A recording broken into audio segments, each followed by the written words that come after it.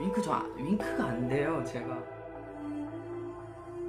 하는 사람이 눈 감은 것처럼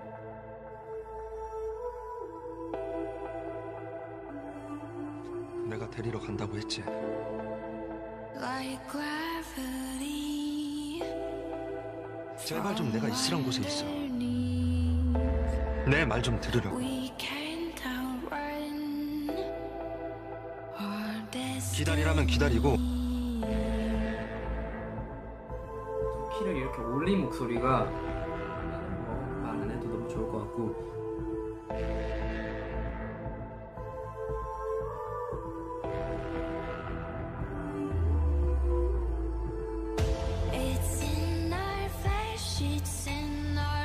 여러분 나한테 갑자기 막 궁금한 거 있으면 얘기해봐요. 내가 대답해 줄게요. 오랜만에 왔으니까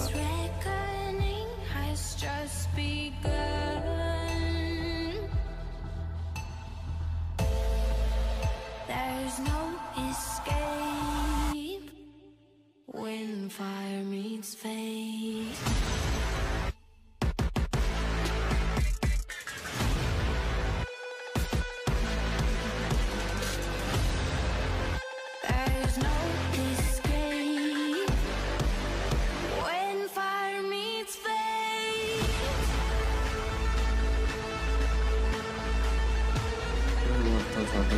알찬 그런 활동이었던 것 같아서.